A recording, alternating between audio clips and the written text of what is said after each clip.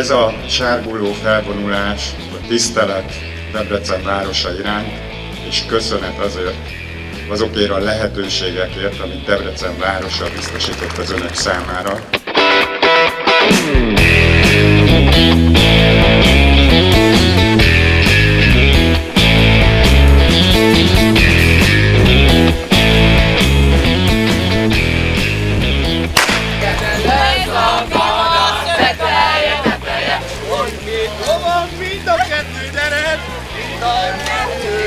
Kocsmára keres, a kocsmára, meg a.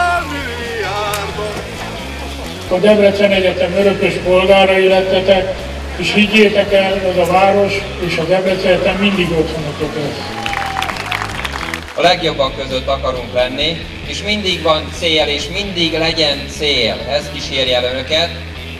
És mint hogy egy szülő nehezen engedi el a gyerekét, mi is nehezen engedjük el magukat, és azt szeretnénk, hogy maradjanak még legalább kettő vagy több évig mesterként, mert többségük BSC-t vagy BA-t végzett.